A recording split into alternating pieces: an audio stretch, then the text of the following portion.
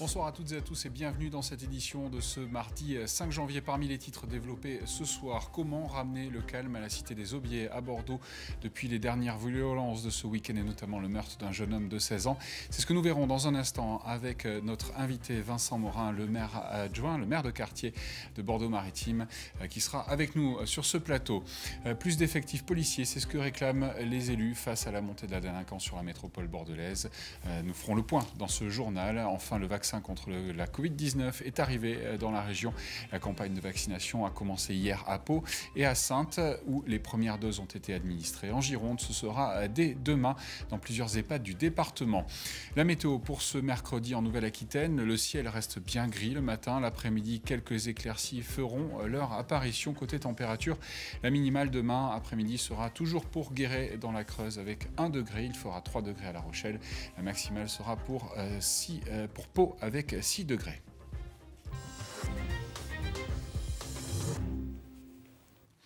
Mais pour débuter cette édition, rien ne va plus aux aubiers après les violences de la nuit de samedi qui ont coûté la vie à un adolescent de 16 ans et les actes de vandalisme la nuit de la Saint-Sylvestre, notamment sur les installations de transport de la métropole bordelaise. Les bus ne s'arrêteront plus provisoirement dans la cité. Les syndicats de conducteurs qui ont lancé hier un mouvement de grève ne veulent plus de terminus ici. Ils ont peur, les habitants aussi. Dominique Parmentier s'est rendu sur place. Un jeune tué par balle, quatre autres blessés par des tirs jusqu'à l'intérieur des immeubles, le bureau de poste et des véhicules incendiés, le local TBM également, le mobilier urbain et les abribus vandalisés. Après ces deux nuits de violence en début d'année, les habitants du quartier ne se sentent plus en sécurité. Ça choque un peu. Euh, on, a peur euh, maintenant euh, de sortir. On a peur. On a peur. Ça vous inquiète? Bah un petit peu quand même. J'ai deux enfants de, de, bas âge et, j'habite le quartier donc euh, je pense que je vais faire ce qu'il faut pour essayer de partir euh, au plus vite du quartier parce que ça tourne un peu mal. Et comme une double peine, depuis hier, les bus ne s'arrêtent plus ici à la station des Aubiers, mais à l'île de. Les chauffeurs de bus ont peur eux aussi. Les syndicats dénoncent une insécurité qui ne date pas d'hier. Ça fait des années que nous avons des, problèmes euh, sur cette plateforme. Hein. On nous a volé des bus, on nous a dégradé plusieurs fois le local, des agressions verbales, physiques, euh, même en 2015 des cocktails Molotov sur le bâtiment. Euh, et puis là, carrément le, local qui, qui, a été incendié. Donc bon, les salariés en peuvent plus, ils viennent travailler tous les jours avec la boule au ventre pour savoir ce qui va se passer aujourd'hui. En 2015, on avait fait une table ronde et on n'a rien qui a changé depuis. Tout le monde nous parle de sentiment d'insécurité, mais là, c'est plus un sentiment. On voit bien que là, voilà, ce sont des faits. Donc maintenant, on peut plus. Ils ont lancé ce lundi un mouvement de grève pour demander que la plateforme soit déplacée, par exemple au parc des expos. On n'a pas décidé de ne pas desservir le quartier, mais on ne veut plus y stationner. S'ils ont obtenu que les bus stationnent provisoirement ici, près de la place Ravzi, ils exigent une décision définitive. Une nouvelle grève est prévue vendredi. Voilà, et des modifications transitoires pour les arrêts de bus des lignes 33 et 35 qui seront ou non maintenus après une période d'observation. Et suite à ces derniers événements chez les élus locaux, c'est le sujet des effectifs policiers sur l'agglomération euh, qui revient sur le devant de la scène.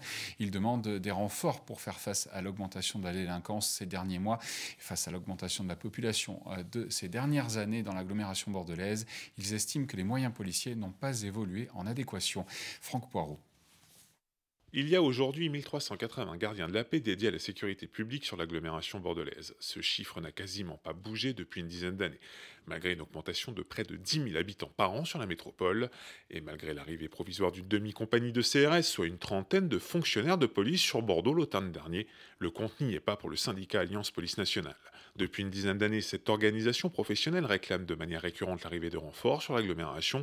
Il manquerait selon elle 70 policiers sur la métropole pour remplir dans de bonnes conditions les missions de sécurité publique et notamment faire face à la vague de délinquance qui déferle sur l'agglomération.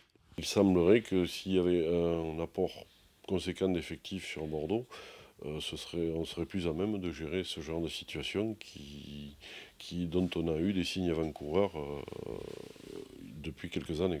Euh, même au cœur de la, police nationale, on, sent qu'on est, on sait, on sait qu'on est en sous-effectif par rapport à la masse de délinquance qu'on a à traiter, à la masse de dossiers qui sont à traiter par nos collègues dans les commissariats. Donc effectivement, oui, il y a une nécessité euh, sur le terrain d'avoir beaucoup plus de policiers qu'on en a maintenant. Alliance, comme d'autres syndicats de police, explique même que le nombre de fonctionnaires présents sur le terrain a baissé ces derniers temps. Toutes les réformes qui ont eu lieu au sein de la police nationale bordelaise se sont faites à effectif constant. La dernière en date, la création d'un nid-commissariat à vocation nationale. 30 agents sont chargés de recueillir les plaintes adressées sur un site dédié en ligne pour toute la France. Ce service a été créé courant 2020. Il est basé à Bordeaux. Ces agents n'ont pas été recrutés au niveau national, mais pris parmi les effectifs de la police nationale bordelaise. D'autres syndicats de police expliquent qu'un nombre important de policiers s'occupent de tâches administratives ou de statistiques. Elles ne devraient pas être du ressort de la sécurité publique, selon eux. Mis bout à bout, tous ces éléments expliquent qu'il y aurait moins de policiers sur le terrain dans l'agglomération. Une réunion a lieu ce mardi après-midi à la préfecture de Gironde entre les syndicats de police et les représentants de l'État sur une future organisation de la police nationale à Bordeaux. Elle devrait encore une fois se faire à effectif constant il y a un an, jour pour jour, la mystérieuse pneumonie en Chine touchant 59 personnes faisait son apparition à travers le communiqué de l'agence France Presse. C'était le début de la Covid-19 le 5 janvier 2020. Un an après, la course à la vaccination est donc lancée alors que les critiques fusent contre la campagne de vaccination débutée il y a maintenant une semaine en France. Ces détracteurs dénoncent la lenteur du processus orchestré par le gouvernement. Et depuis le 27 décembre dernier, un peu plus de 2000 Français ont donc reçu leur première dose. En comparaison en Allemagne où la campagne de vaccination a démarré en même temps. Ce sont plus de 230 000 citoyens qui ont été vaccinés. Un retard qui témoigne de la prudence du gouvernement, selon le docteur Jean-Luc Hervouet, représentant de l'Union régionale des médecins libéraux de la Nouvelle-Aquitaine. L'idéal serait de vacciner euh, tout le monde très rapidement. Peut-être il y a lenteur, mais une lenteur relative, parce qu'il fallait quand même prendre des précautions, avoir les résultats des études scientifiques qui montrent l'efficacité de cette vaccination, euh, l'absence de, dangerosité de cette vaccination. Et donc il fallait quand même que ces études soient réalisées. Hein. Sachez quand même que on est dans une épidémie d'un virus nouveau, avec des vaccins nouveaux. Et puis, euh, on a des stocks de vaccins qui sont constitués, qui ne sont pas immenses, voilà, et qui vont être fabriqués au fur et à mesure. Donc, ce n'est pas illogique de prioriser un petit peu la vaccination par catégorie euh, d'âge, de profession, de secteur. Mais on va y arriver. Voilà, et les doses de vaccins qui sont par ailleurs arrivées au CHU de Bordeaux, la campagne de vaccination débutant demain en Gironde et ce vendredi dans les Landes. On en parle justement demain matin avec notre invité euh, Olivier Serre de l'Agence régionale de santé Gironde. Et comme nous en parlions euh, déjà hier, le gouvernement a exclu de rouvrir les salles et lieux culturels cette semaine. Michel Goudard, le directeur d'entreprise culturelle, euh, qui était l'invité de la matinale ce mardi. Pour lui, le patron de Box Office donc, a réagi à sa fermeture des lieux culturels. Il faut rouvrir rapidement les petites salles. Écoutez-le. Euh, moi, la question que je pose, c'est pourquoi traite-t-on toutes les salles euh, de la même manière? Est-ce qu'il n'y aurait pas une réflexion à avoir? Des petits lieux de 250 places qui, en jauge Covid, peuvent recevoir 150 euh, personnes, sont peut-être pas des lieux où le Covid peut se, propager et on ne peut pas argumenter en disant c'est le flux des personnes qui se rendent vers les salles, on n'est pas un zénith quand on a un petit lieu. Et ça permettrait à ces petits lieux, il y a une trentaine de théâtres qui sont concernés sur Bordeaux, qui pourraient vivre en proposant des artistes qui seraient des artistes émergents, le public étant euh, puni de ne pas avoir de spectacle, irait à la rencontre de ces jeunes artistes, ça servirait les petits lieux qui sont très fragilisés et ça permettrait à des artistes émergents de pouvoir avoir du travail et montrer leur spectacle et affiner ce qu'ils savent faire. On rendrait service un peu à tout le monde. Je ne pense pas qu'il y ait de dangerosité sur les petites salles. Voilà, et quant au restaurant dont la date de réouverture euh, avait été envisagée le 20 janvier, cette date devrait être euh, donc finalement reportée. La décision sera actée en Conseil de défense ce mercredi, alors qu'une réunion devait se tenir ce mardi après-midi avec les représentants syndicaux à Bercy autour de Bruno Le Maire, le ministre de l'économie. Allez, tout de suite, euh, on passe à la une avec vous, la une Sud-Ouest demain. Olivier Plagnol, merci d'être avec nous. Bonsoir, vous êtes le rédacteur en chef adjoint de Sud-Ouest. On en parlait justement, le vaccin, le Covid, ça continue. oui, on va nous on va ouvrir à nouveau le, journal sur, euh, la campagne de vaccination avec un titre à la une qui sera probablement La France passe la seconde. Et donc on revient surtout sur les annonces d'Olivier Véran ce matin, le ministre de la Santé, qui euh, voilà élargir euh, la population des soignants, qui seront prioritaires, simplifier les procédures prévaccinales, enfin toutes ces mesures qui, sont, euh, qui, doivent favoriser l'accélération de la vaccination. Qui ne sont pas en EHPAD. Euh, également, un autre sujet, la dette publique, faut-il s'en inquiéter? Oui, parce qu'aujourd'hui, enfin, elle représente 120% de la richesse nationale annuelle, alors qu'en 2019, on était à 100%. Donc effectivement, la dette publique euh, euh, augmente de façon spectaculaire. Donc on a réuni deux économistes, un bordelais, un parisien.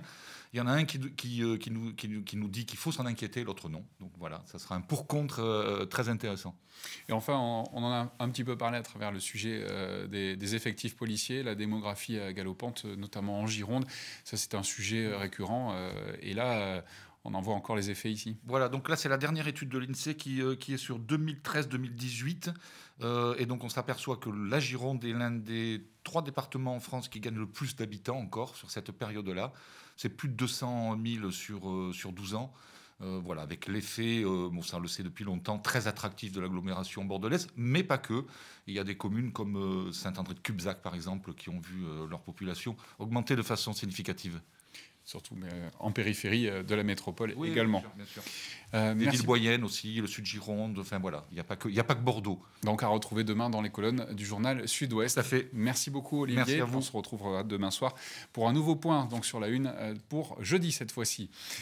Enedis, euh, le distributeur européen d'électricité, a dévoilé aujourd'hui ses projets pour les prochaines années. Accentuer la transition écologique, achever le déploiement des compteurs Linky sont au cœur de ce programme. Un budget d'un million d'euros par jour a d'ailleurs été débloqué pour financer euh, ces projets. Alors, le projet industriel euh, et humain qui est développé par Enedis pour les prochaines années consiste à accompagner la transition écologique en se mettant au service de nos clients et en faisant en sorte que les choses se passent beaucoup plus simplement euh, dans le cadre des missions qui nous sont, euh, euh, données, comme par exemple le raccordement qu'il va falloir réduire de moitié pour faire face à, cette transition écologique. On, a beaucoup de, de, demandes de raccordement puisque on a 13,4 gigawatts qu'il va falloir installer sur euh, ces trois départements, donc de, l'Aquitaine, de la Dordogne, euh, pardon, de la Gironde, de la Dordogne euh, et puis du, Lot-et-Garonne. et donc pour ça, il va falloir mettre un certain nombre de, choses en place. On a le compteur Linky qui arrive en fin de, parcours, euh, puisqu'on aura fini la pose des compteurs Linky à la fin de, l'année 2021. Et l'objet, euh, c'est de permettre à chacun euh, de nos clients de pouvoir bénéficier de, ce compteur, autrement dit, d'être en mesure de participer à la maîtrise de l'énergie en maîtrisant mieux sa consommation. Voilà, et pour terminer ce journal, une gourmandise de saison, la galette des rois qui a fait son grand retour dans les boulangeries à l'occasion de l'épiphanie. Et comme chaque année, le succès pour cette pâtisserie est donc bien au rendez-vous. Un reportage de Claire Eckersley et Théo Chirambero. Comme chaque année, début janvier, la galette des rois est la star des pâtisseries. Mais entre la frangipane et la brioche, les avis sont plutôt partagés. Frangipane. Parce que je préfère, j'aime pas fleur d'oranger, tout simplement plutôt brioche. Pour le côté moelleux et le côté moins sucré aussi, moins bourratif euh, de la, de la brioche. La brioche, c'est pour le matin au petit déjeuner et frangipane pour le goûter. Et j'ai acheté les deux. Alors, étant du Nord, je suis frangipane, mais vivant à Bordeaux maintenant, je préfère la bonne brioche. Tradition oblige, c'est la galette briochée qui se démarque. Mais c'est quand même euh, typique un peu à Bordeaux. Et puis les clients, c'est ce qu'ils aiment, euh, vraiment le, le brioché même si la galette parisienne d'année en année prend un peu plus d'ampleur, mais ça reste encore le brioché. Au total, dans cette pâtisserie, 2500 à 3000 galettes sont vendues par jour pendant l'épiphanie. Un succès également au rendez-vous dans cet autre établissement du centre-ville de Bordeaux, spécialisé dans les galettes flamandes. je vais d'abord prendre la brioche déjà cuite pour la couper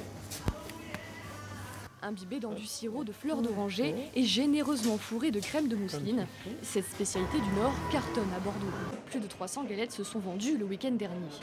Et euh, bah, en fait, on a eu un franc succès et donc on va réitérer l'expérience. Et d'ailleurs, on la continue jusqu'au 30 janvier.